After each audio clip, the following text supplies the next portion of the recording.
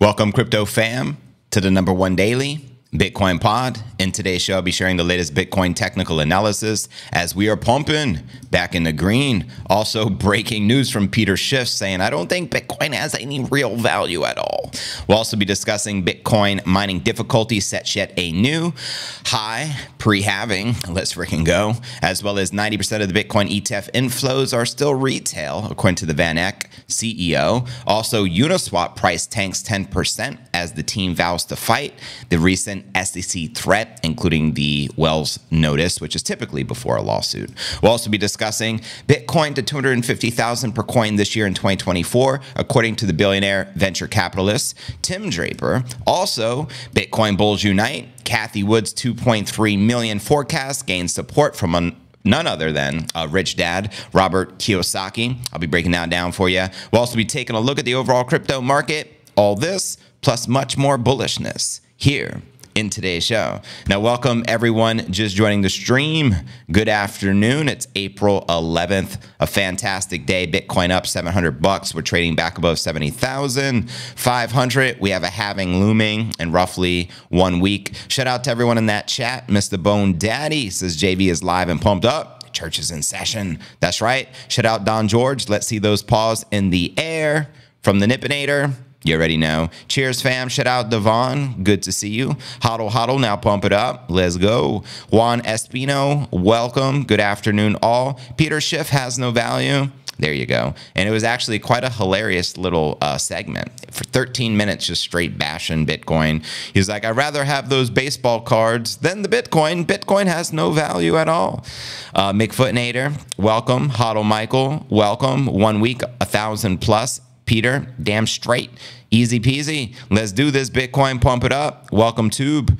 Let's get it loud and clear, Bone Daddy. Thank you, DNA Noonan. Hey JV, I'm here making onion rings for A&W in the Mill Bay, BC, and watching the greatest show on YouTube. Love you, brother. Respect uh, DNA. I appreciate you tuned in there. Smash the like. Yes, please. Thank you, Jerome Smith. Uh, Julie Key Largo in the building. Welcome, welcome, Mars. Pepe is pumping, says, yeah. Peter Schiff is still mumbling BS when Bitcoin, yes, when Bitcoin's 500 million per coin, more than likely. I watched that. It was hysterical. He looked like an arse. Pretty much Julie Key Largo. We all know that. Mr. Schiffinator. What up, Len S? Send him your beanie babies too. Right. If you need to sell your beanie babies. And you know what was interesting? They even asked him, like, uh, Patrick Bet David's like, how much of your portfolio is actually in gold? And then he kind of diverged the question and said, well, more than half of my portfolio is in gold stocks. That means he doesn't even primarily hold the precious metal he pumps. I find that hilarious. Uh, Mateus, uh, greatly appreciate you gifting a membership. It looks like Jerome Smith, you have just been hooked up. That's right, Craig the Space Bum. We officially live it in the flesh. Let's get it. Uh, Dave, yeah, yeah, yeah. Hi from Bangkok. Uh, welcome, Jerry Reynolds. Shout out Bangkok, Thailand in the building. That's what I love about the stream. Our audience is from all over the world, literally. That's what's up. Pump the likes family to help pump the stream and let me know where you're tuned in from. It helps out tremendously, family. Shout out Greg. Uh, have a good day to you as well. And everyone just joining the stream this afternoon. Exciting times in crypto. Shout out Locks Guy. What it do, bro? Uh, shout out the Palestinian. Yes, we're live. You already know. Pump, pump, pump, pump, pump, pump, pump it up. Pump that mofo up. Welcome. Okay, good. I'm back to the kombucha. Let's go. Have a good day to you as well, family. I appreciate y'all for tuned in. Thanks for the hearts. Thanks for the likes. We're going to have another epic day here on the pod. Shout out Larry, Hawaii in the building. Uh, the recent AU pump may have something to do with us gold ETFs were opened up to Hong Kong exchanges a few months ago. Oh, that's interesting, Greg. And as we covered in yesterday's pod, we do have Hong Kong ETFs likely to start launching next week. So this is going to be a big week uh, heading into the halving family. Good evening, Mark. Uh, good GN. What is that? Good good evening from Germany. Good evening, family. Shout out Germany. Virginia in the building. 200 likes for JV. 0.5 hour and the next membership will send. Wow, Mateus is giving y'all a challenge. If we can get 200 likes, he's going to send another gifted membership. So get the likes up. Come on, guys. 70,000. Let's freaking go. Pump, pump, pump, pump, pump, pump, pump, it up. Pump, pump, pump it up.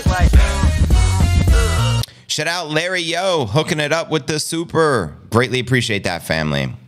Helps out tremendously. Thank you. Darth Melda, it's been eons since I've seen you. Whoa. Pump it up for Darth Melda, please. I missed you as well. Where you been? Hopefully all has been good. You got to update me. Bram, uh, thanks for subbing to the pod family. Jackie Tucker in the building. Pump it up to 77 G's now. We're talking. Let's get it. CNA all the way every day. Pump it up. Cheers, Mark Anderson. Appreciate it. Hit the thumbs up to get the gifted membership. That's right. Simple as that, family. Look, pump it up if your game went long. Yeah. When the dip hit, you just stay like King Kong. Let's go. You already know. But anyways, fam, if you're new to the channel, very important to smash the subscribe button to receive daily premium crypto news alerts every day, just like this. Also equally important to smash that thumbs up button because when you like, the video. It helps out tremendously with the YouTube algorithm, helps get more eyeballs on the channel, and it's always greatly appreciated. Today is pod episode number 1606. I'm your host, JV, and it's April 11th, 2024. The market is a pumping. As we can see here on Coin360, Bitcoin trading back above $70,600 back in the green. We also have Ton up 8 percent while Ethereum's pulling back and Solana and Cardano are pumping and in the green. And checking out coinmarketcap.com, the current crypto market cap sits at $2.61 trillion with roughly 84 billion in volume for the past 24 hours. We got the Bitcoin dominance on the climb at 53%, Ether dominance on the decline at 16.1%. My question for y'all in the chat How high do you feel this Bitcoin dominance is likely to climb for this cycle? Do you think we tap 60, 70, potentially 80%? Love to know your thoughts. And checking out the top 100 crypto gainers for the past 24 hours, we got TAO leading the pack up 12.5%, followed by Neo, the one, trading, uh, or I should say, up almost 10% of the day, as, as well as Toncoin up 8%. Below that, Jasmine Pepe, EOS, VET, and BGB. Now, which altcoins, if any, are you guys most bullish on for this particular bull run? Holla. And checking out the crypto bubbles to get a visual perspective on the day. We have, safe to say, I'd say 70% of the alts are correcting in, in the red, but we do got a handful of gainers. And zooming out on the monthly, very similar. I'd say maybe 60% in the red, 40% in the green, with some respectable gainers. Core 200%, Pendle 131%, Ton 100%, and WIF 85%. And checking out the Crypto Greed and Fear Index, uh, we're rated a 76 on the day, Extreme Greed. Yesterday, 78, last week, a 70, and last month, an 81 in Extreme Greed. We keep an eye on this because the higher this number goes, the more likely of a correction. But, anyways, checking out the Bitcoin halving countdown. All eyes on Bitcoin halving 2024, roughly eight days, eight hours away, with the estimated halving date scheduled for April 20th. Can you say, 420 at 458 UTC. But just note, this is all dependent upon the block height. And it's exactly when we hit 840,000, we're going to see a halving. So this recalibrates virtually every moment. And the current block we're on is 838,786 as displayed here on the time chain calendar. And currently, you can trade $1 for 1,419 Satoshis. And we got the Bitcoin market cap sitting at 1.39 trillion. Let's go. But there you have it, fam. Let me know where you feel. The Bitcoin price action is likely to take us leading into the halving in approximately one week. Yo. That's right, 420, yo. Pump it up with JV, 71,000. Let's go. Bitcoin Aussie welcome says 188,000 in 2025. Send that, please. I think 60% is good. The alts are always going to catch some of the Bitcoin win. Pretty much, as I say, a rising tide rises all ships. All you altcoiners focused on alts, you guys should be praising Bitcoin because without the king, your gains don't exist. Just saying. You the man JV been stacking since 2013. Oh, for real. Whoa. Another Bitcoin OG in the building. Yes, sir. Congrats. I salute you. 2013 hodler. Boom. Let's go. Hi, everyone. JV, my man. My man. Shout out Independent Free Soul. Respect. Hi, Deeth. What it do? Welcome to the stream family. Welcome everyone just joining us. Uh, Bitcoin dominance chart 0.5 Fibonacci at 59%. Boom, shakalaka. Bitcoin dominance, by the way, 59 to 66% post halving. I dig it. Are you doing a live stream for the CNA halving party? Um, no, I don't have a I don't have a I don't have any plan of doing a halving party, but we will be doing a stream on the day of the halving because I stream every day. So yeah, why not? We'll call it a party. Yes, we're having a uh, Bitcoin halving party on the day of the halving, whether it's on the 19th or the 20th. And we'll even have a party the day after, the day before, and every other day this year. How about that? How about every live stream we consider a party? There you go. Pump watch, pump party, whatever you want to call it. But yeah, man, it's going to be pretty lit and I will be streaming here. So it's going to be fun. Put in an order to get the Bitcoin at 65,000 inside of the crypto IRA. FOMO is killing me. Wondering if it's going to dip back. Now, breaking news outside of crypto OJ Simpson has been announced dead. Whoa. Yes. OJ Simpson from the infamous Bronco chase back in the day in California A is announced dead allegedly from some sort of cancer. But what's interesting, he did get a JAB back in 2001. I mean, sorry, 2021, and tried convincing everyone else to do the same.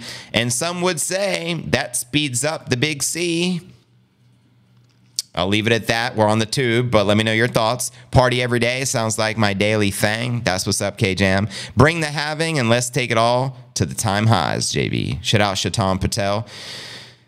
Um, no, I don't think there's any deathbed confession, guys, that I'm aware of. I saw some, yeah, I mean, some FUD, like, but I don't think none of it was true.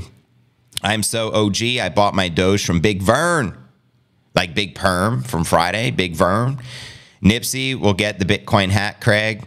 Too many strange deaths recently, JV. This is fact. Grant says, I agree. Brought to you by Exactamundo, the Mondo, the largest advertiser on the tube. You already know. I am headed to Puerto Rico right now. That's what's up. Anthony Zamet, what you heading here for? And what part of the island? Holla. Let me know. That's cool. PR is the place to be. OJ on an island with Diddy. Oh boy. Oh boy. The Palestinian. Word. JV, did you just trade Bitcoin? Honestly, Mark, I'm not a trader. I'm not going to pretend to be one. Um, I am a hodler. Simple strategy. It's worked out tremendously for me. And that means I just buy Bitcoin, stack sats, and hodl. And I've been doing so since Bitcoin was 1500 in 2017. It's been working out quite well. So uh, Operation, yes, exactly, precisely. Was OJ hanging with Diddy? He searched every golf course for the killer. Now he will face the true judgment as we will. Amen to that, Tennessee. Amen to that. No traitor, no cheater.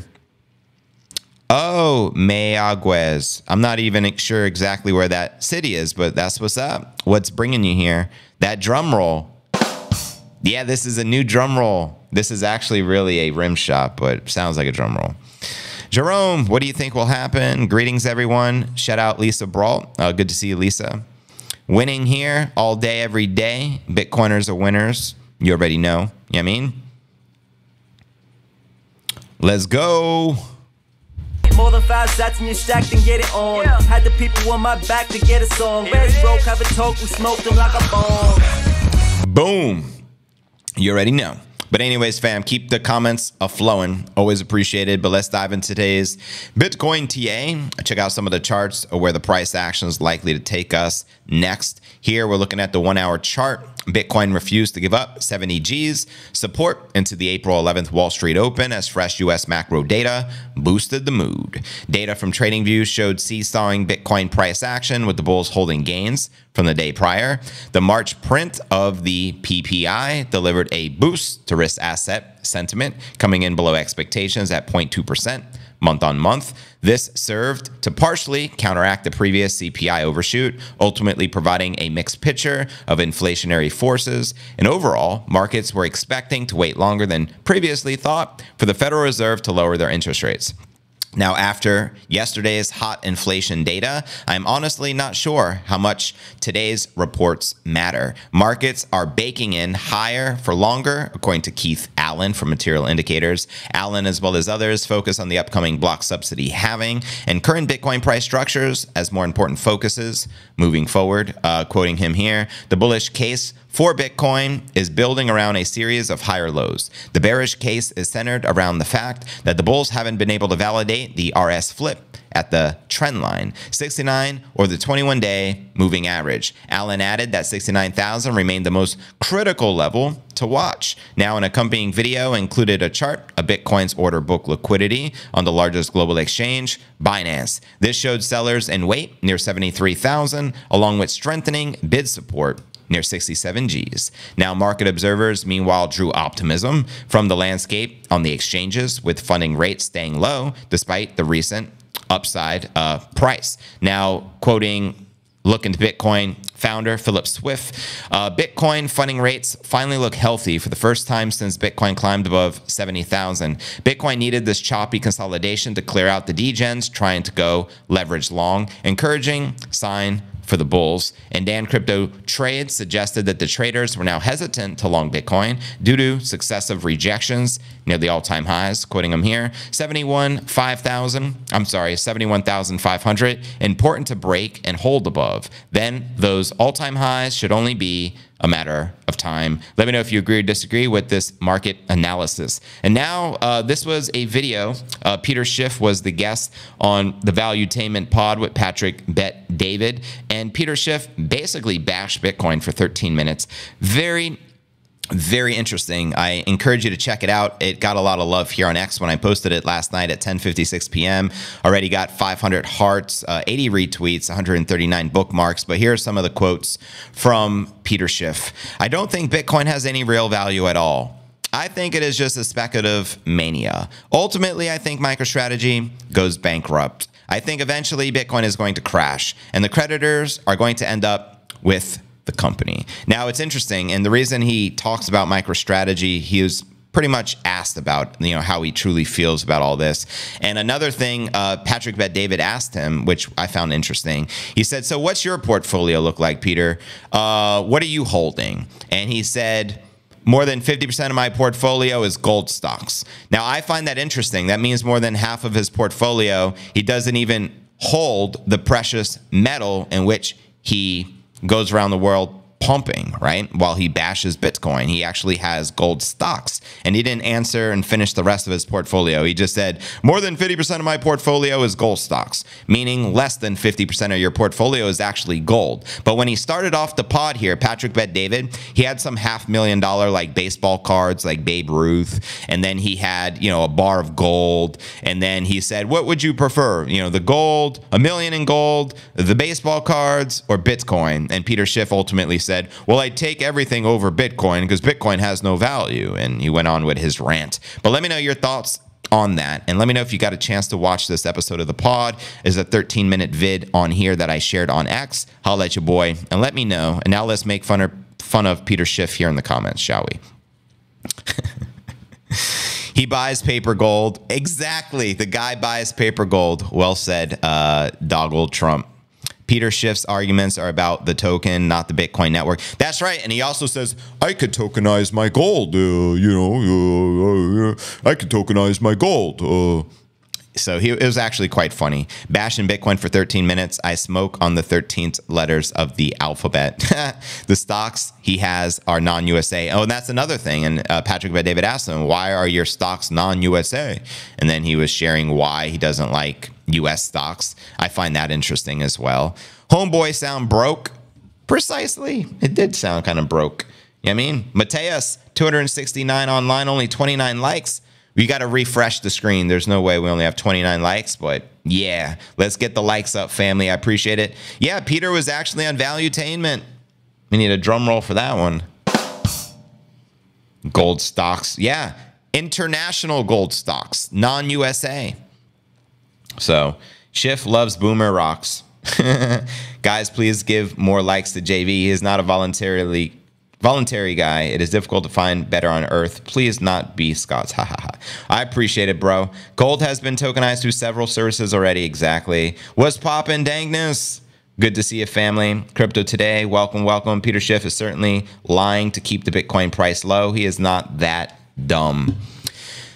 You just never know. Uh, JV, did you get a chance to watch the Brian Armstrong interview with the Hoover Institution? I have not seen that yet. Uh, I haven't seen it yet. Thanks for the reminder. You already know, Jerome, those who stack the stats on side Peter. Yeah, Peter's last chance. Peter Schiff is valuable, plays out the balance, Mother Nature Express, the third law. Hmm. Peter knows Bitcoin is going to eat gold's lunch and feels threatened by it.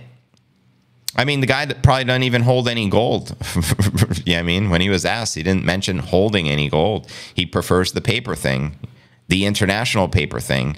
When Michael Saylor song, uh, give me a second here. You guys want the Saylor song? You got it. But like most of the people who are buying assets at some point want to sell the assets at a profit. Not these folks. People, people, people. Who use gold as a store of value. What do we call them, folks? That use fiat, fiat, fiat or gold currency as a store, as a store of value. Store, store, of value. What do we call those folks besides Peter Shifty? We call them we poor. We call them we poor. Whoa. I called Schiff's company Euro Pacific once and their fees were very steep. I said, no, thank you. He will have some Bitcoin hidden away. Or is the Mr. 100? Well, according to Max, uh, Max says this Mr. 100 country that has been accumulating Bitcoin like there's no tomorrow is more than likely going to be like Abu Dhabi, which is the UAE, Abu Dhabi being the, the, the city there, or it could be Qatar. Uh, you know, big money there in the Middle East. Every Demo- Democrat is told not to acknowledge poor. 200 likes in 10 minutes, and I'll send the next membership for free. For JV, it is the real second asset after BTC. Much appreciated, Mateus. That means family. If you're in here now, all I got to do is pump the like. If you pump the like and we hit the next uh, 200 likes, uh, you're going to get a free membership. So take advantage of it. Rock collectors, where you at? That's what's up. Peter Schiff must be related to Adam Schiff. I don't know who Adam Schiff is. Hey, y'all, loving the news. Thank you, Creeper. Gold is at an all time high. Yeah, but still not exciting. Is, is any gold hodler like celebrating right now gold all time highs? I don't know. The live stream's nuts. It's like a newsreel and party. Love it. Glad I wandered in here. Thank you, uh, use main. You can't transfer gold across the borders. Yeah, that was one of the arguments they shared against Schiff. And he's like, well, I can do everything the Bitcoin can do. He's like, I can tokenize the gold with another coin. You don't need Bitcoin, his argument was. Bitcoin is just a, a Ponzi, is what he says. And it's eventually going to collapse and go to zero. And the MicroStrategy shareholders will take over the company. That was his synopsis ultimately. Meanwhile, yes, Bitcoin's pumping. We're about to recapture 71,000. So pump the likes to pump the stream. Thought I had 100 biddies and an old account turns out was only 100 bits, which is one cent worth of a Bitcoin. Thought I had $7 million. Turns out was seven bucks. Ouch. Hmm. Schiff should take advice from his son. That's right. Pump the likes. Didn't gold take something like 30 years to 4x? Probably. I just know 10 years ago it was like 2000 and now we're like 2300. Gold bugs are like, "Oh my god." Government can take your gold. Facts. Tell them, man. Real talk right there. That's a real concern. Yeah, we heard Cramer report that. Whoop whoop. CY, missed my JV fix. Howdy fam. All the way to 85 G's, baby. In three weeks, send it. The only tulip Ponzi scheme is fiat. Tell them dankness. I remember my husband bought gold 10 years ago and got taken down. Whoa, what do you mean by got taken down? Someone took him out, took him down. Bitcoin is getting ready to crash all the way up to 100 G's. Exactly. Gold is not as rare as Bitcoin. Yeah, gold is really not that rare. There's infinite gold in the earth, in the water. right? They say the earth is mostly water. Well, how much gold do you think is buried in that ocean? Yeah, I mean, next to the extraterrestrials and stuff like that. You never know. I'm just saying. what is 2% over 10 years? Nothing. There you go. Orange party night in this piece. Oh, orange panty night. Don't get me started. Yes, we are going to have an orange panty night tonight, folks. This is dedicated to all the whole coiners. It's red panty night when you sign to find me, yeah? Back at your back at home with your wife. Mmm. One, two, three, four, five, six, seven, eight, nine. It's the Ten Says Commandments. Uh. But anyways, fam, let's dive into our next story of the day. Let's discuss the latest with this Bitcoin mining difficulty setting a new high, pre-halving, another great sign.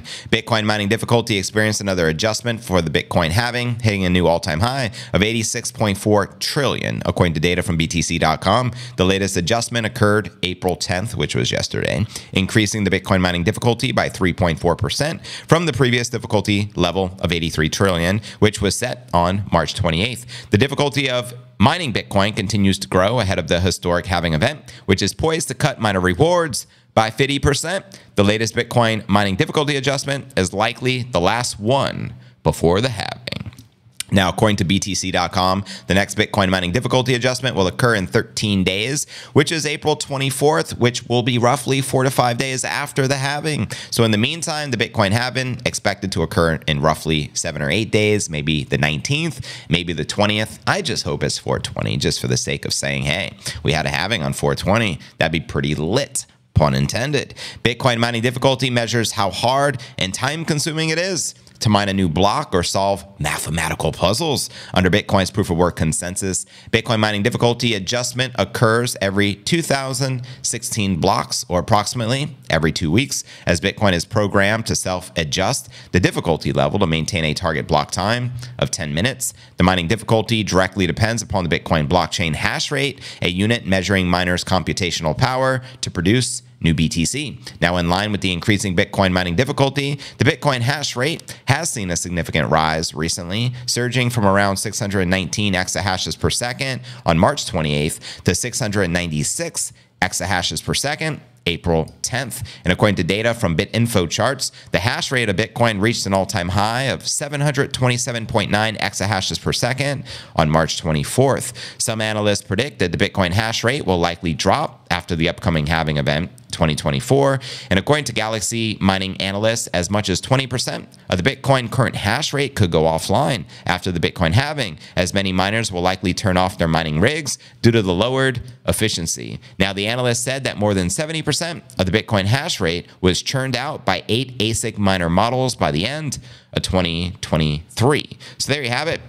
I think just another massively bullish uh, factor in the ecosystem. When we get new you know adjustments for the mining difficulty and the hash rate keeps breaking out reaching new all-time highs it's just a sign of the time. Bitcoin price tends to follow the hash rate. It's a lagging indicator. Uh, still mining Kaspa. This will blow up says goldberry89 anyone here actually mining bitcoin? I'm curious. Uh, let me know chat. 420 would be lit. Amen to that devon. Well, well, well.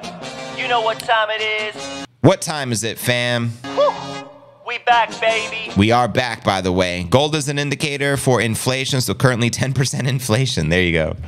Bitcoin, shitcoins, or NFTs. There's no greater feeling than hitting that That sweet, sweet. sweet, sweet. Old time high, old time high, old time high in this bitch. Watch it pump to the sky. We just buy and get Yeah. rich.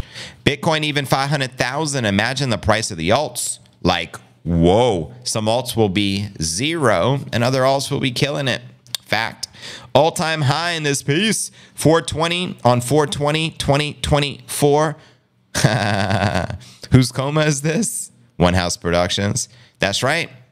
Be prepared. We're only a week away. Family, hit the dispensary if you have to. Get ready. The Bitcoin miners have had four years to prepare for the halving. Exactly. I don't think a lot of the miners are going to switch off their machines either. Uh, All time high in this. What? Tell them.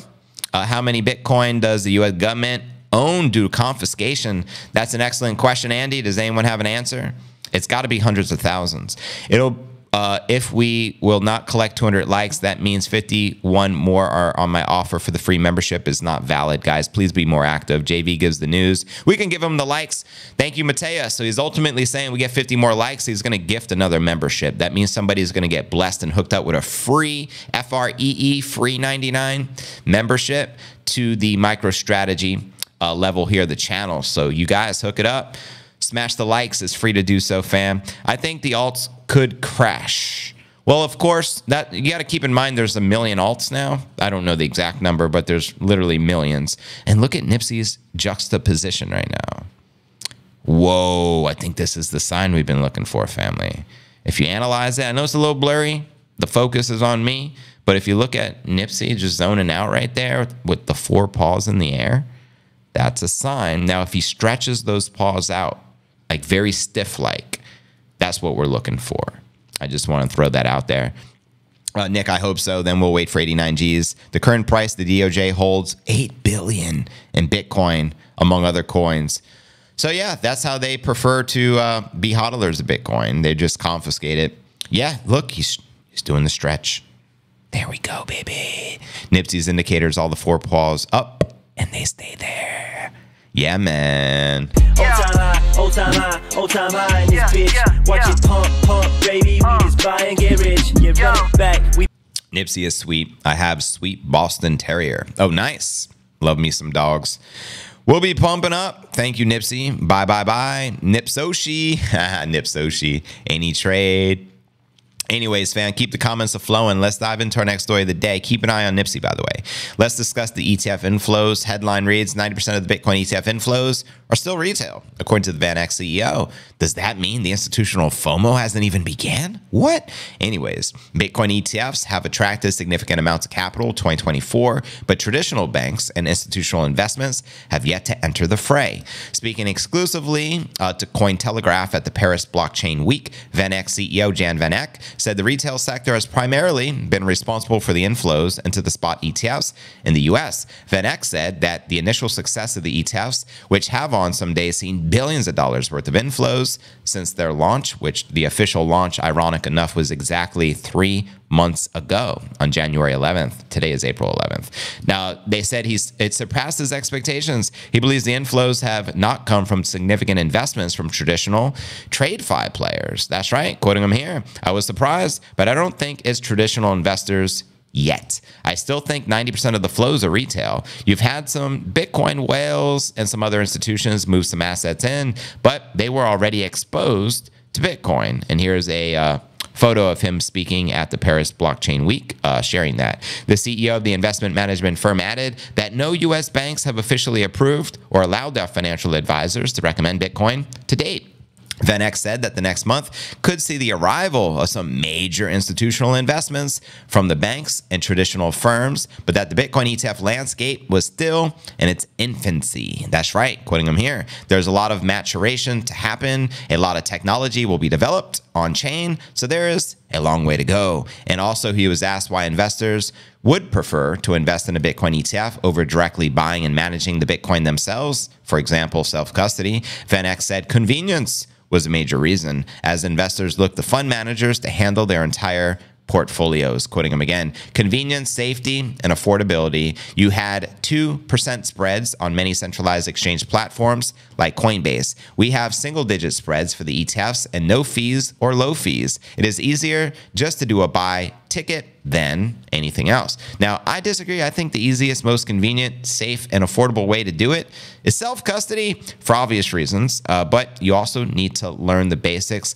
of securing uh, your wallets with self custody. But it is very simple. In my opinion, a nine year old can do it very successfully, right? So it means any age uh, can do the same thing. But some people just trust others to hold the Bitcoin for them. But there's also downside, there's risk associated with them holding your biddies. Number one, not your keys, not your coins. If you don't hold the Bitcoin and control the private key, you don't really own the Bitcoin. And yes, it can be confiscated. All Bitcoin E ETF BTC can be conf- confiscated. So something to keep in mind. Now, VanEck was founded in 1955 by John Van Eck, who would make his name by uh, starting the first gold fund in the US. Interesting. In 1968, when gold was fixed, against the dollar. Van Eck said his father's fund boomed as inflation soared in the 1970s. Van Eck said his tendency to be a paranoid business person, maybe he smokes the reefer, has kept him alert to emergent assets that could contend with gold. Quoting him again,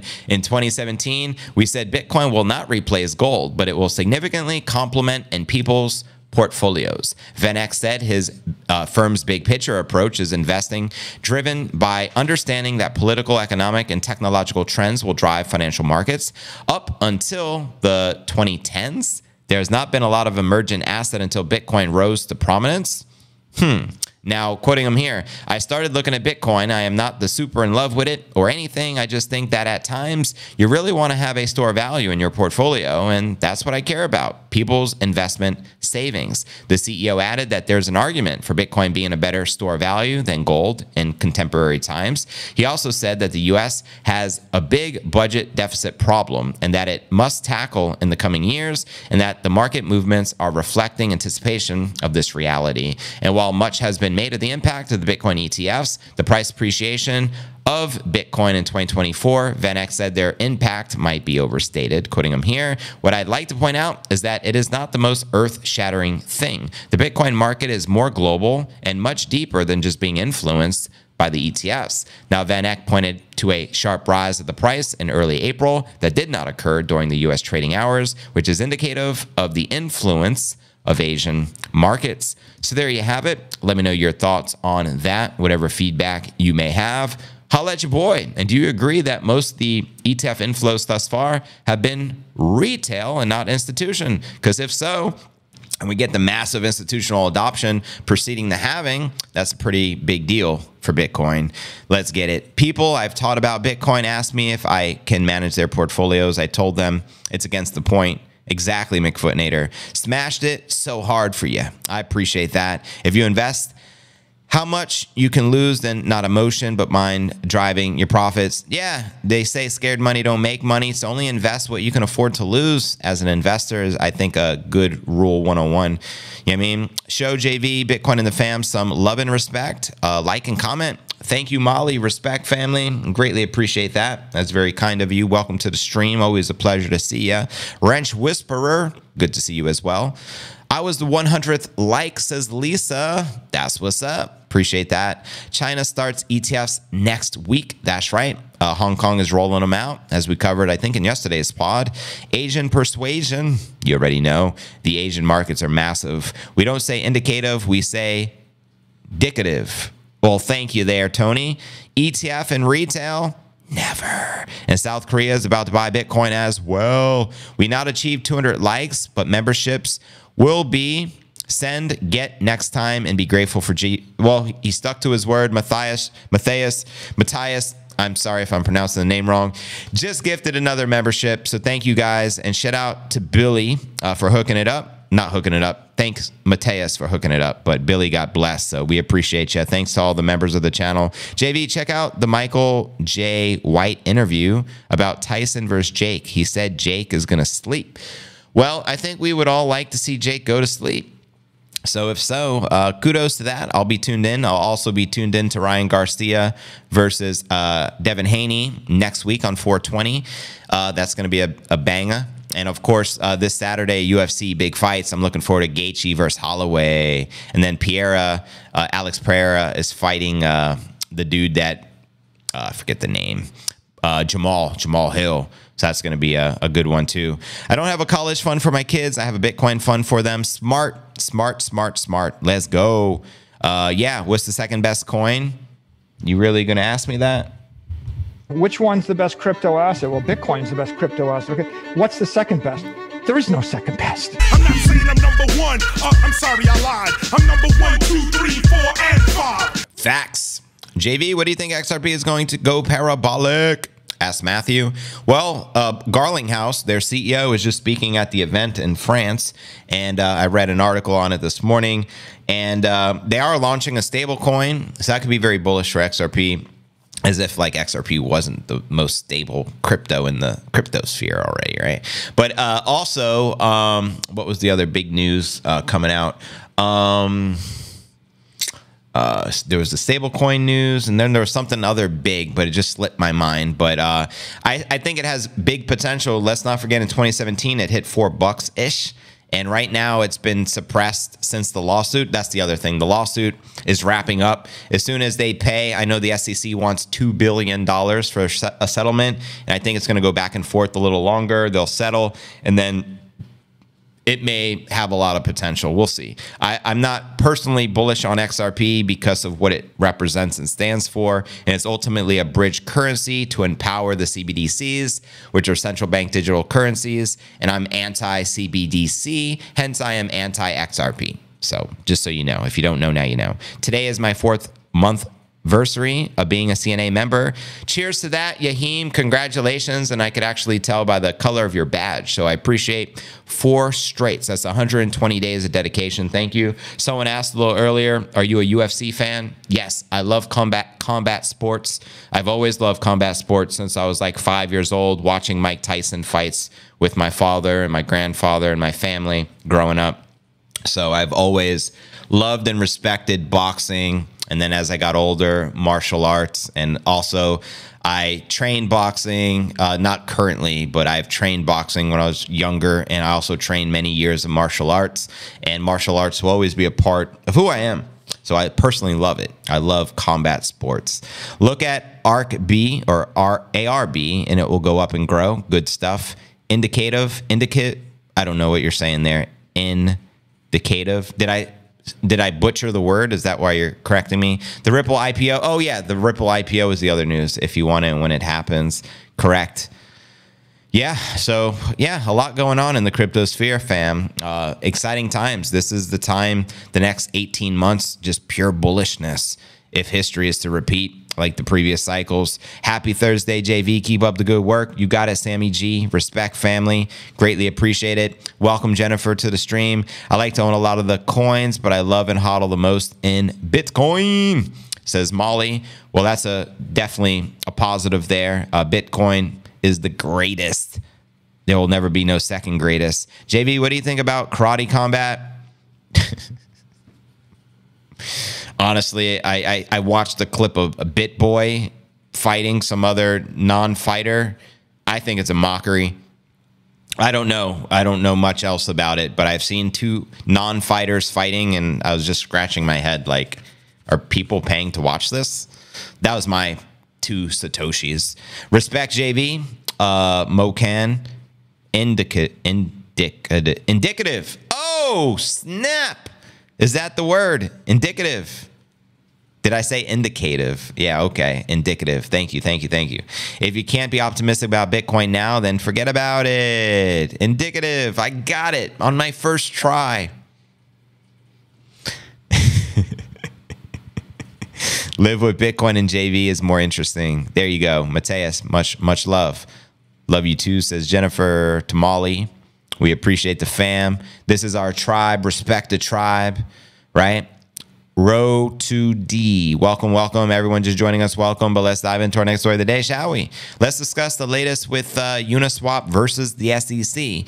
The SEC won't let me be, let CZ be free. But anyways, uh, Uniswap price tanks 10% as team vows to fight the SEC threat. Uniswap, the token for the decentralized exchange of the same name, sunk to a six-week low after Uniswap said it received a proposal lawsuit uh, proposed lawsuit notice from the U.S. regulators, which it is ready to fight.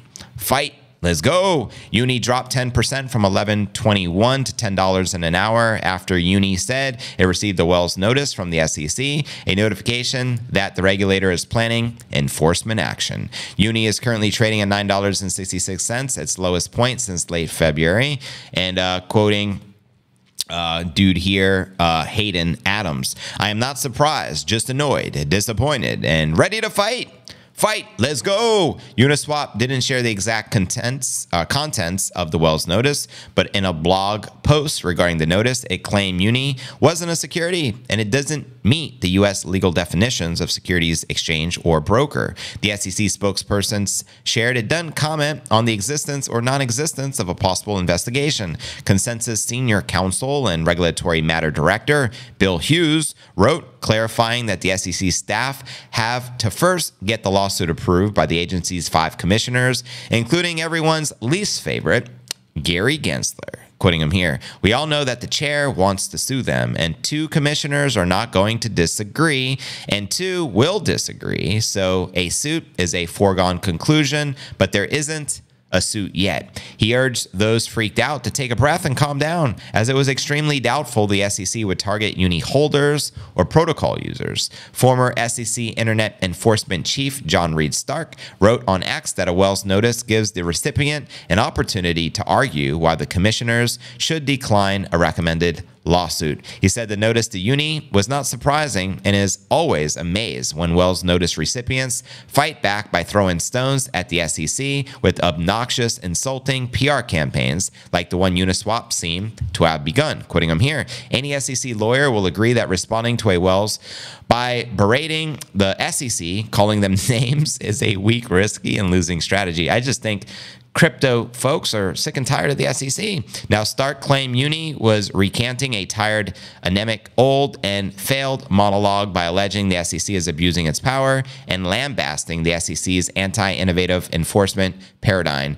Expect the SEC enforcement staff to lean in and file a uh, robust federal complaint, which will inevitably survive the usual motion to dismiss, prevail against the typical motion for summary judgment, and win on just about every other litigated issue that follows. Now, former general counsel Gabriel Shapiro wrote that from Delphi Labs. This hunch is the SEC will win on security issues with Uni, but will lose if it claims Uni is a securities exchange. Now, Paul Grewal, chief legal officer of Coinbase, which is being sued by the SEC, agreed with Shapiro and wrote if the SEC claims Uni is a broker, he believes it won't be able to argue its claim. He pointed to the judge's decision last month in the SEC suit against Coinbase, which determined the SEC failed to allege Coinbase conducted brokerage activity through its decentralized Coinbase wallet. So there you have it, family. How many of you are uni holders or using the decentralized exchange? Let me know. And how do you feel this will likely play out and impact the greater crypto market? Holla at your boy. Gary Guzler sees too many average Joes becoming rich and becomes a threat to his bank buddies. And speaking of Gensler, what does that smell like? It smells like securities, if you know what I mean. Too many frauds and scams. These clowns trying to take us down. What a guy. Wow, what a guy. Wow, what a guy. Hey, JV, do you think Satoshi believes the number 42 is the meaning of life? Man, clue me in. I don't understand that. Uh, if so, why would he only create 21 million? Tell me the significance of 42, So I never heard that. I wouldn't know, so you got to clue me in. Smells like securities. And let me just say, Guess who's back? Back. Back again. Gary's back. Tell a friend. A mercy received. Yes, you will see big support for the Uniswap. So the SEC is protecting me. this is just a slow crypto down to trade fi to further get the grip on. Uniswap is just code and software, smoke and mirrors. Agreed. Agreed. A JV is Gensler around by any chance? I'm just, I'm just. Gary's back. Back. Tell a friend. I'm, I, can I, Guess who's back? Guess who's back? Guess who's back? I did my part to oppose Gary. Bought a bunch of uni today. Nice, Steve. Love it, JV. Thank you, Molly. This is a bullish trigger for Bitcoin, as only Bitcoin and memes cannot be sued. Guess who's back? Guess who's back? Not if Gary can help it. Guess who's back? Guess who's back? Hitchhiker's Guide to the Galaxy. 42 is the meaning of life. Oh, wow. I got to look that up. I haven't heard that one.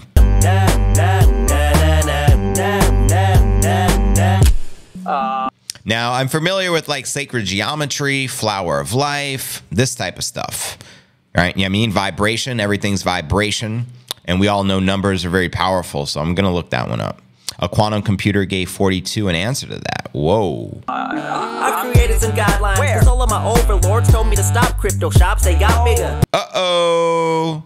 You want help? Well, this is what I'll give you. What are you going to give us? Come on, Gary, tell us. A little middle finger mixed with the lawsuit. They must have forgot who I am, what I'm up to. There we go. 432. HZ. Now, HZ, not megahertz because it's not MZ. So, what's the H stand for there?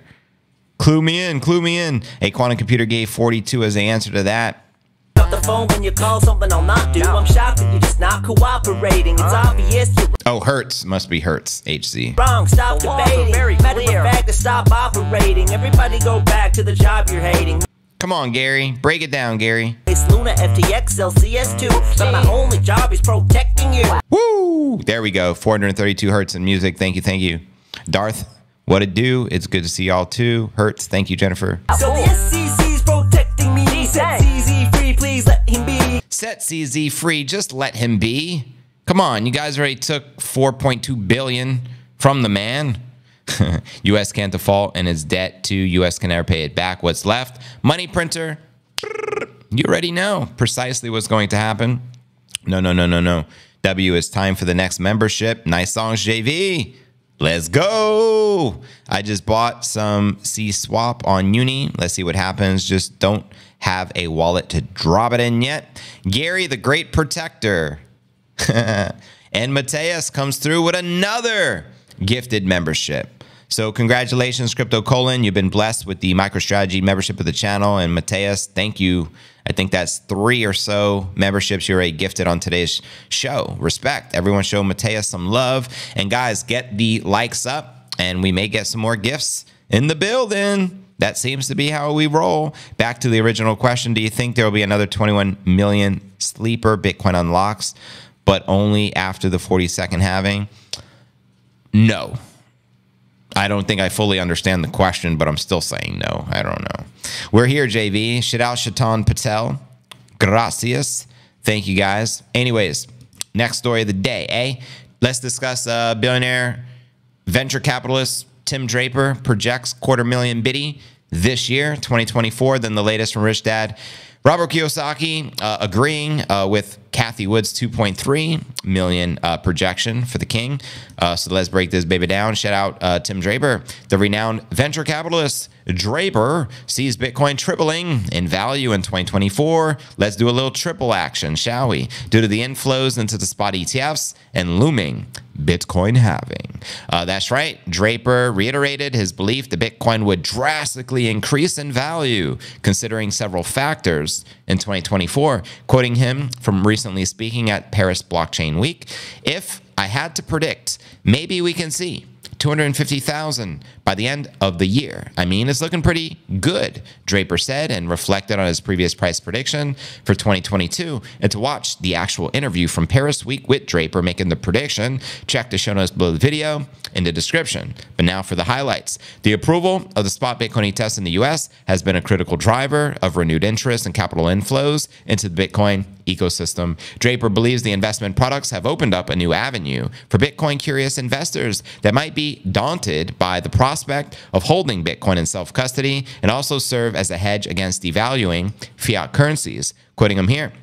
I think that it gives people an opportunity to buy some Bitcoin and hold on to it so that they can take care of themselves when there is a run on the dollar or the euro. He also highlighted the appeal for investors who want their respective fund managers to continue managing their portfolios. Access to a Bitcoin ETF allows investors to continue working with Fidelity or JP Morgan.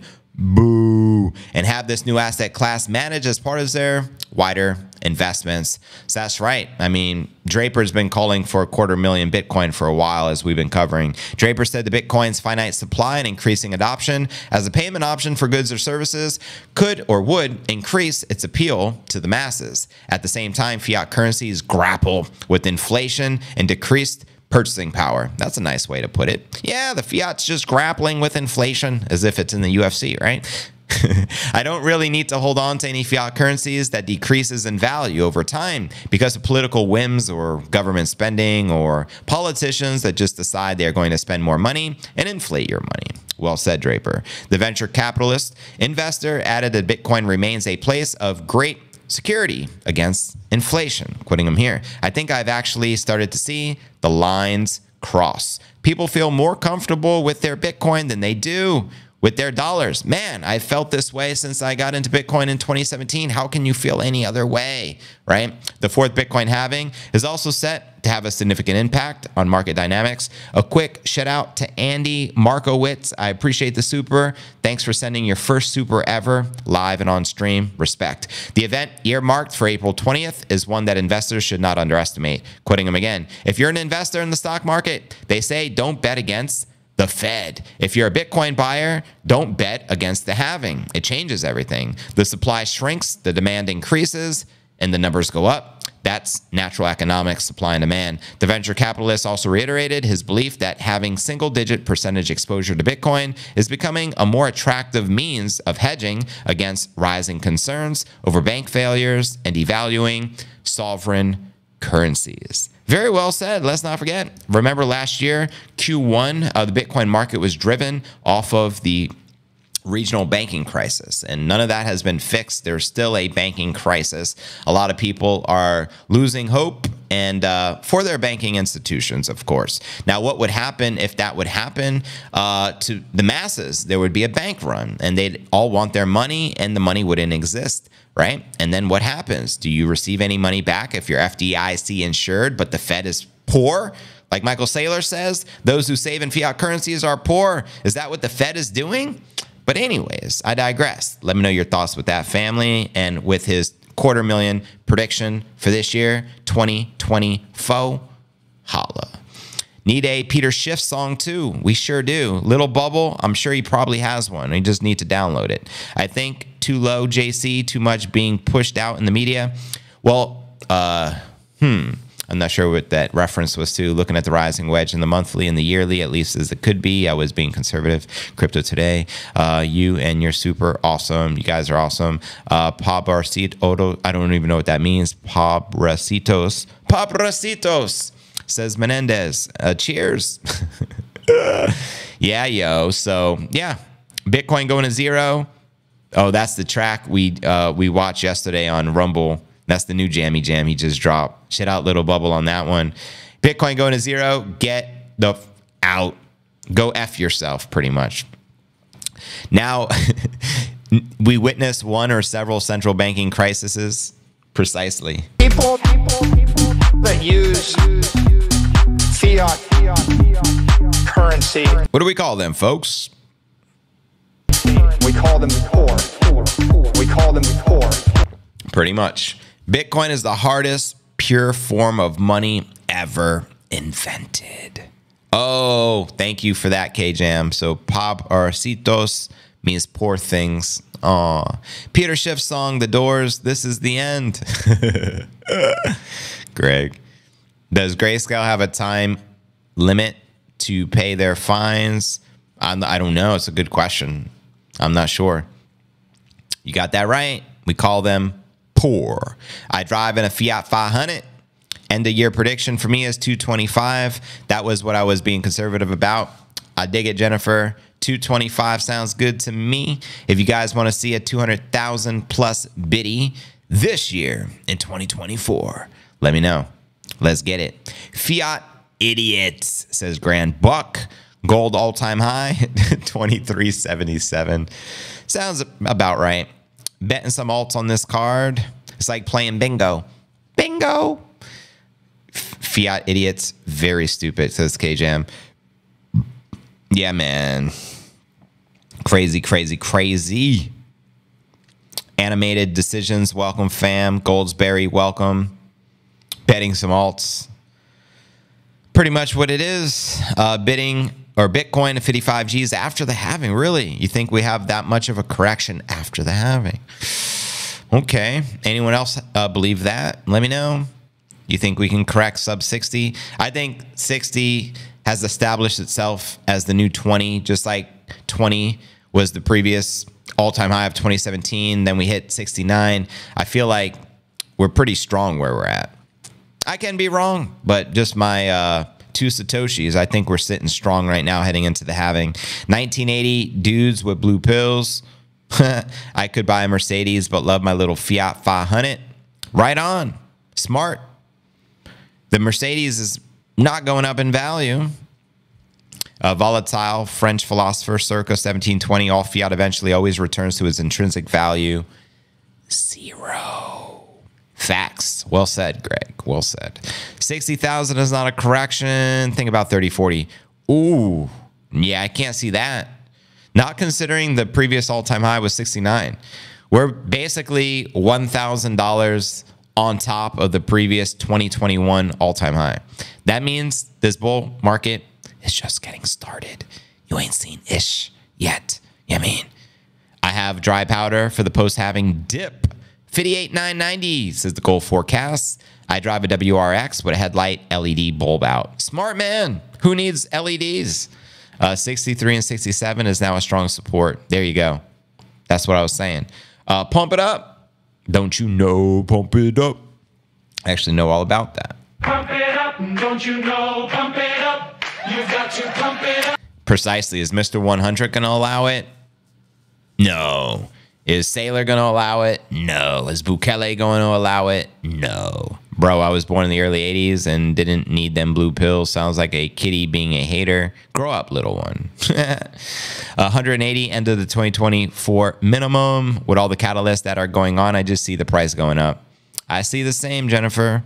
My formula works for the previous three, says Gold. Uh, what is that? Seminem, say pump it, huh? Seminem. Seminem, Eminem, Seminem. Saving for a correction too. Hmm. Seize the moment. Just remember, the corrections are shorter and shorter lived and will continue to be that way when we're in the bull season. Overheard two women talking about how the printing of the money means they have more money and it will fix everything. It can't fix stupid. So I just walked on. yeah, it will fix everything. They'll just print more money. That's the answer. That's most women's uh, you know solution to everything. And we'll just more money will solve the problem. We'll just print more money. Yeah, what can go wrong? Love the head bob. Boomers, Papo, meant gold buyers in 1980. Hello from Prague. Love your videos. Bitcoin to the moon. Shout out Hellmark. Appreciate it. But, anyways, family, now for our feature story of the day. Let's discuss the latest from Rich Dad Robert Kiyosaki uniting with Cathie Wood's 2.3 million Bitcoin price forecast. Let's break this baby down, shall we? And welcome everyone just joining the stream. Greatly appreciate your support. Famous acclaimed author and investor Robert Kiyosaki publicly endorsed Cathie Wood's ARK Invest audacious prediction on Bitcoin, demonstrating a noteworthy agreement of viewpoints towards the potential of the crypto asset to reach unprecedented heights. In fact, let's just read the tweet from Kiyosaki himself. He posted this April 10th, which was yesterday, very late at 11:36 p.m. It already got almost a million views, and I retweeted it myself. Um, actually, did it with a quote. But anyways, he wrote, uh, "Cathie Wood." I think he means guarantees here, not quaranties, but nonetheless, guarantees Bitcoin will hit 2.3 million per biddy. Do I believe her? Yes, I do. All hail Cathie Wood. In fact, is Cathie spelt with a K or a C? I ask you guys. Let me know.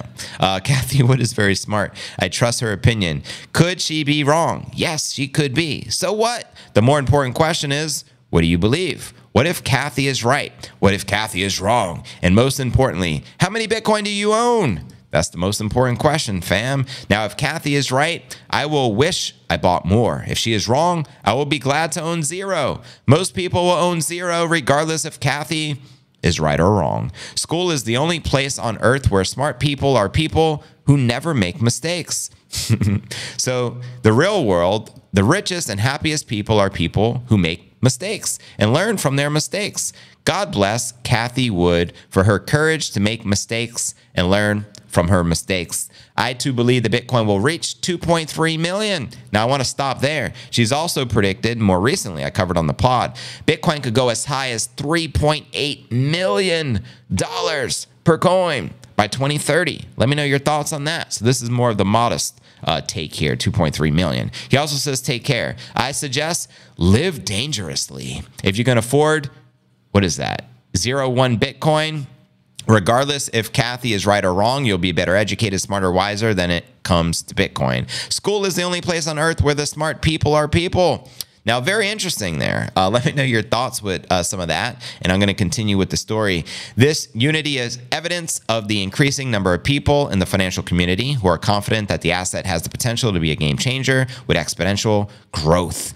Amen. Now, in February, a report titled Big Ideas 2024, ARK made an intriguing projection that might have a significant effect on the crypto market, especially Bitcoin. The research examines multiple scenarios and pro- uh, projects the possible price movements of Bitcoin depending upon the varying global asset allocation degrees. Specifically, their analysis suggests that investment of more than 19% of the world's assets, valued at a whopping 250 trillion, into Bitcoin may cause it to soar to an all-time high of 2.3 million dollars per coin. Now, it is worth noting that the firm considers that the asset as a trustworthy risk-off asset that is often viewed as a haven during times of market turbulence. And starting off, Rich Dad highlighted his confidence in the bull prediction and said that this is because he believes the firm's chief executive officer, Cathie Wood, with a C is the proper uh, spelling, just FYI, is incredibly intelligent and her judgment is reliable. And although he noted that Wood's forecast could be wrong, the crucial question here is what people in the community believe.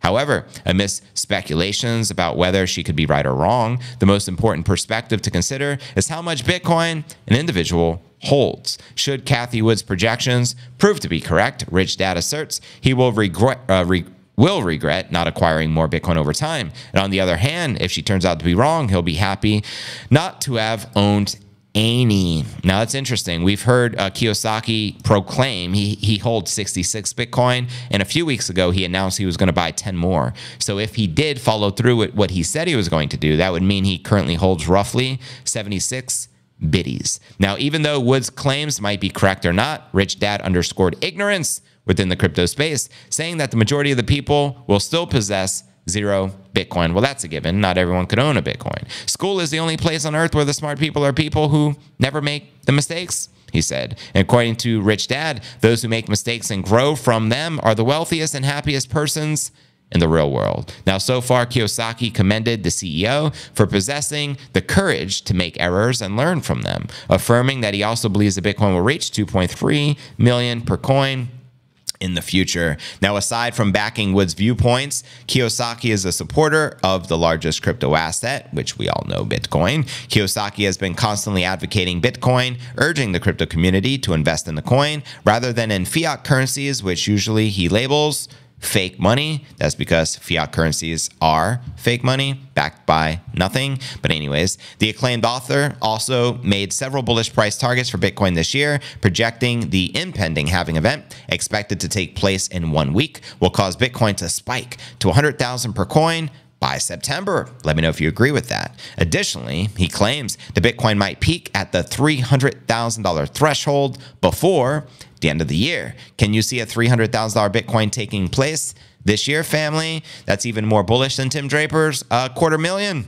price prediction. Let me know your thoughts. And again, what do you feel regarding him uh, doubling down on Cathie Wood's 2.3 million price prediction. Holla at your boy. I feel very conservative target, very doable. The million dollar question is really when will it happen? I think Bitcoin's going to hit all the targets that have come before it, right? From 100,000 to 250 to a half a milli to, you know I mean, three quarters of a million to 1 million to 2 million to 3.8 million and everything in between. It's just a matter of time. What are your thoughts, though, family? Please do let me know. Uh, Tim Draper, we've been covering his predictions for quite some time as well. He's been calling for a quarter million Bitcoin. He had he's an early investor. He got in in like 2014.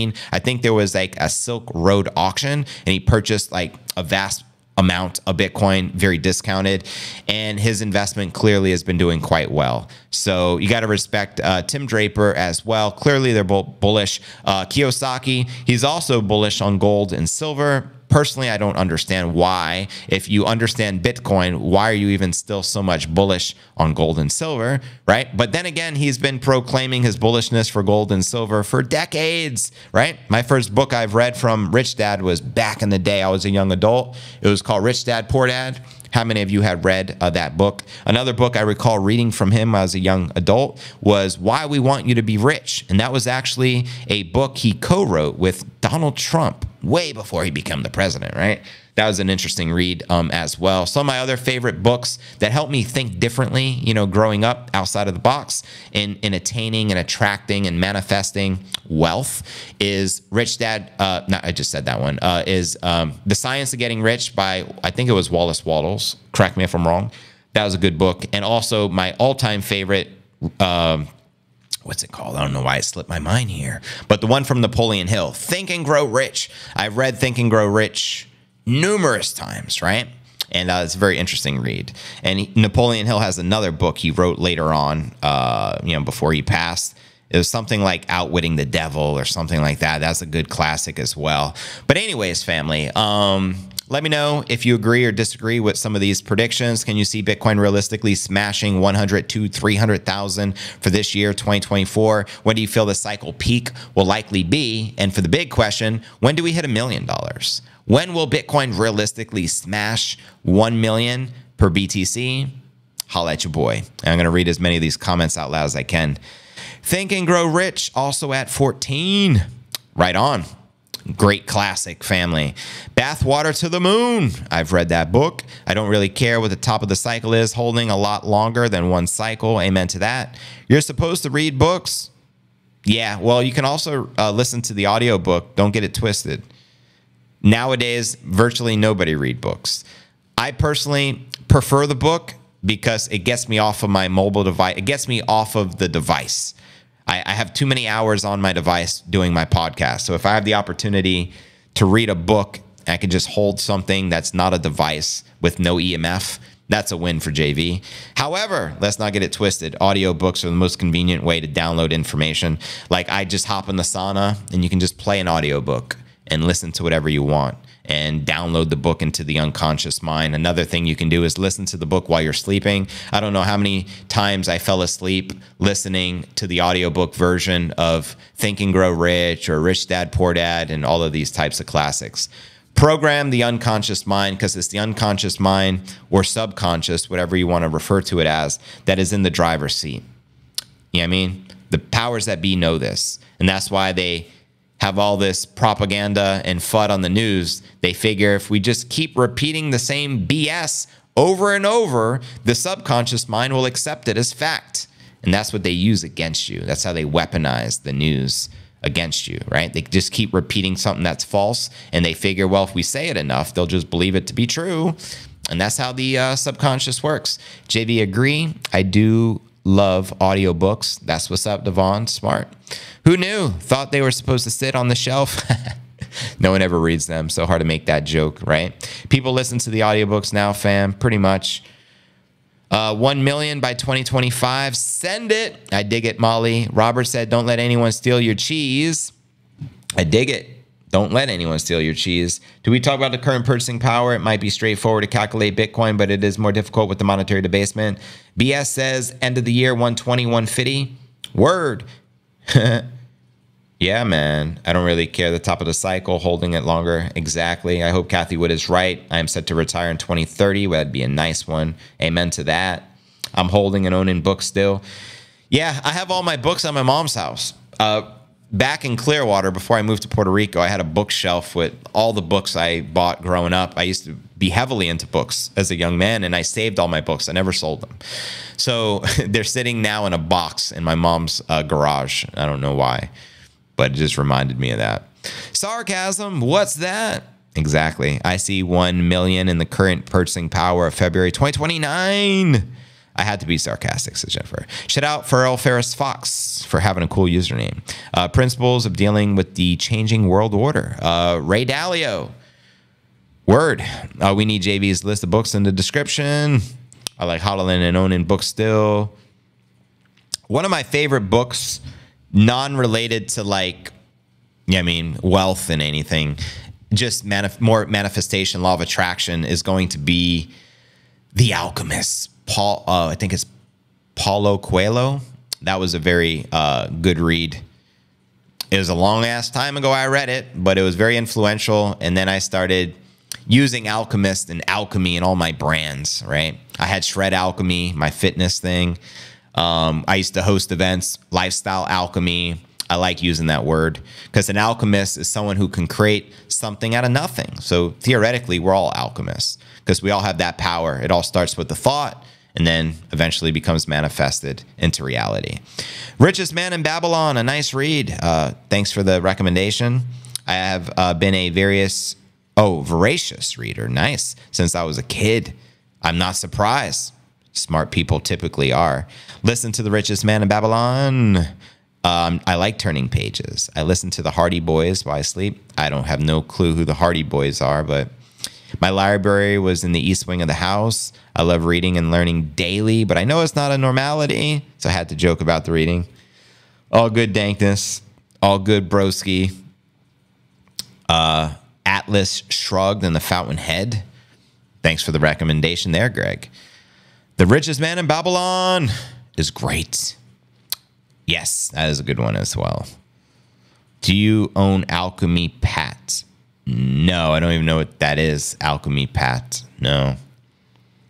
Mm-mm.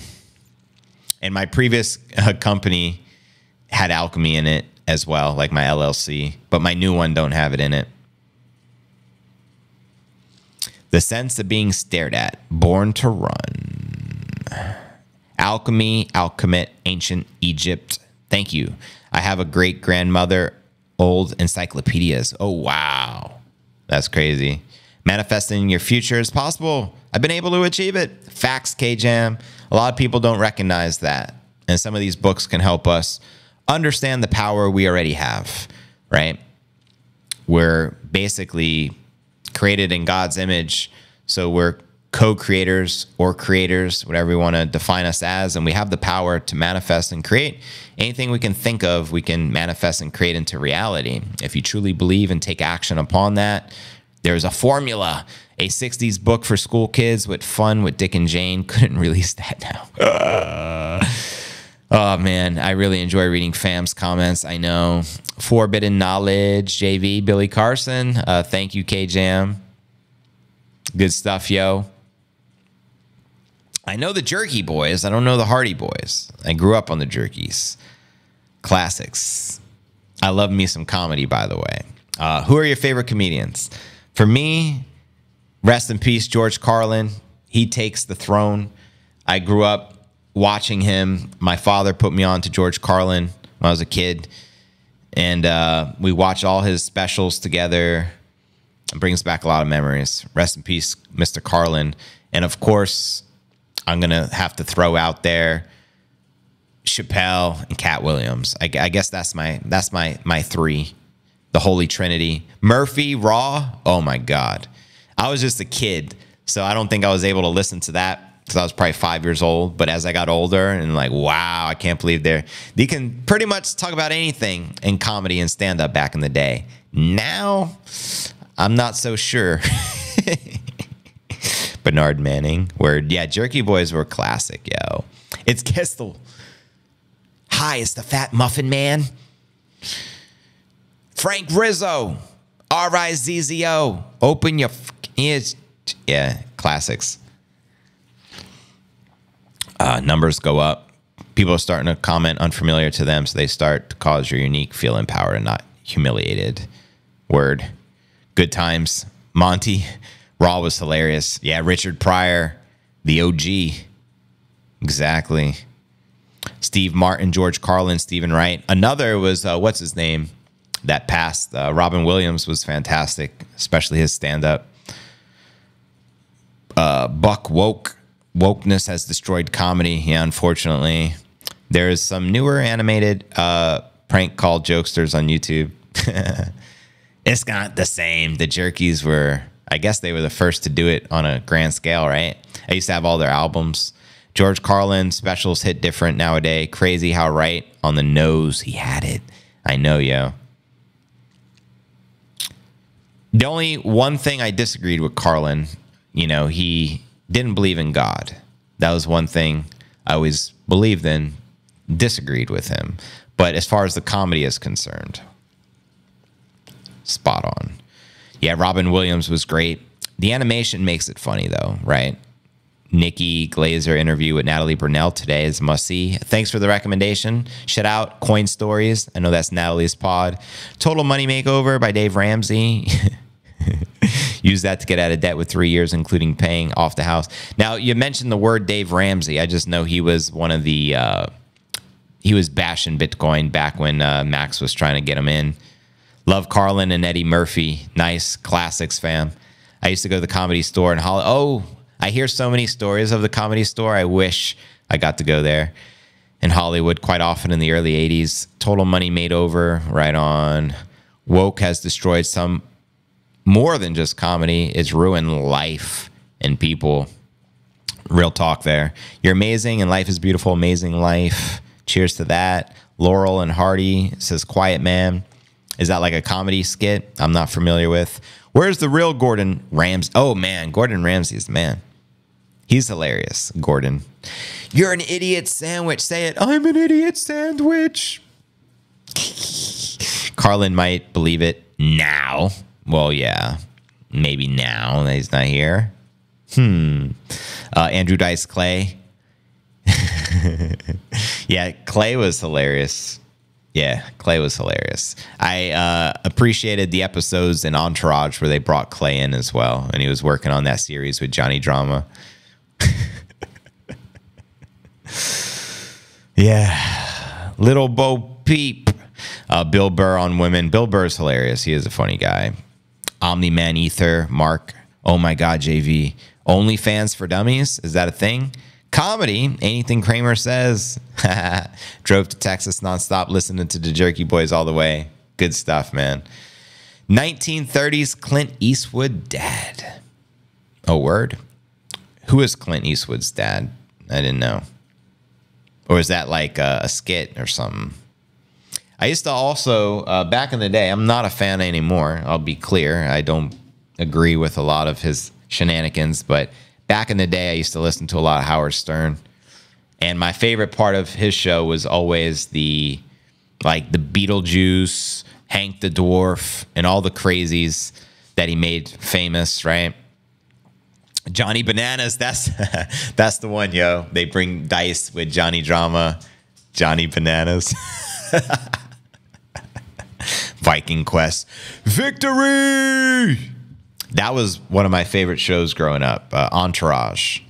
Hilarious. Uh, yeah. Ari was pretty hilarious too. Ari Gold. Lloyd! Beetlejuice 2 is coming out. Like a real Beetlejuice? No, I, I, I mean, I like Beetlejuice, not the movie, but Beetlejuice, the character from Howard Stern that looked like a real life Beetlejuice. He's hilarious.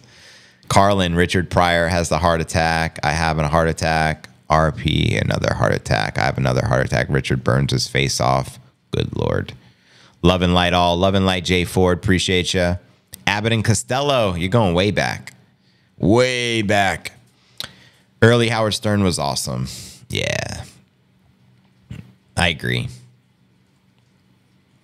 Ari was the best part and drama. Yeah, the two funniest, definitely drama and Ari. You always get a kick out of those two. Rodney Dangerfield. No respect. Uh, you got to respect Dangerfield because he came into the he came on the comedy scene like very late and became very famous. So very hard to do.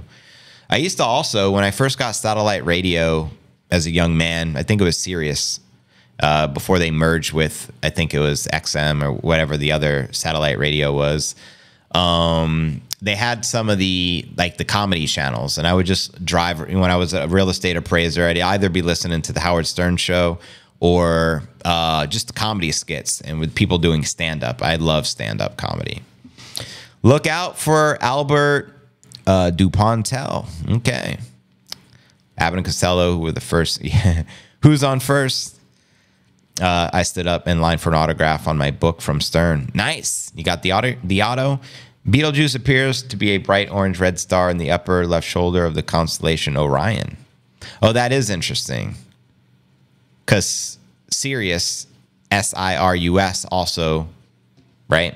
Major star constellation or whatever, in which the satellite radio was named after. R.I.P. George Carlin, rest in peace. Please watch Bro Selecta when you have time. Cool. Is that comedy? Quiet Man. I haven't heard of it. Uh, Sirius XM Radio is free. Just sign up for the trial with a credit card with a dollar balance. Nice. uh, JV, love listening to comedy when I am driving on Spotify. Nice. That's awesome, Devon. Yeah, sometimes music gets old and you got to switch it up. Comedy keeps it uh keeps things entertaining. Are you not entertained? Beetlejuice 2 is coming out with the real Beetlejuice, Michael Keaton. Oh wow. I remember that show as a kid. It was always kind of creepy, but nonetheless, I think it was uh Bert uh who was the producer of that? Burton. He always made kind of dark, creepy films.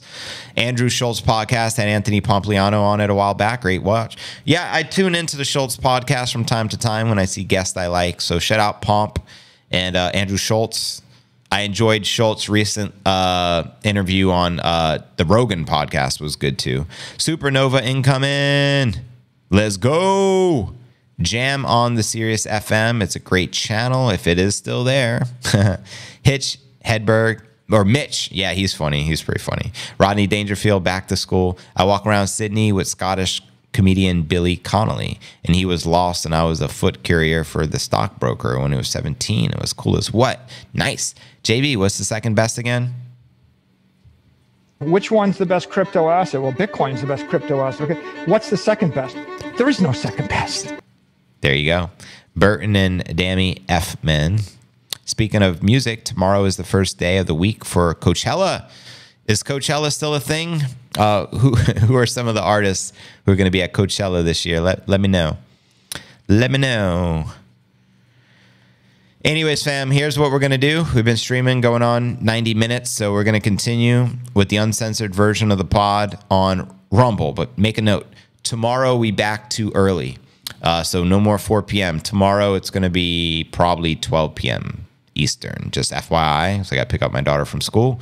So starting tomorrow for the whole next week, we're going to be early, 12 p.m. Eastern ish versus 4 p.m. Just note. Then the following week we switch back to 4 p.m. If you haven't noticed, that's been the uh, the schedule. Love JV's sense of humor. Greatly appreciated Molly. Uh, good stuff. His Peter Schiff's mom is the second best. That's funny. Oh my God. Kiyosaki is great in property, not great in crypto, self proclaimed billionaire with only 30 ish Bitcoin is a joke. That is kind of funny, right? I would expect uh, Kiyosaki to have thousands of Bitcoins, but teach their own. At least he has something. 66, not too shabby, or 76 now if he followed through with his word and bought another 10 biddies. But, anyways, fam, let's continue with the uncensored version of the pod exclusively on Rumble. It's rumble.cryptonewsalerts.net. Again, rumble.cryptonewsalerts.net. I'll see you there. We're going to speak censorship free. Let's go, baby. Peace. All right, YouTube stream is officially over. We're going to continue with the Rumble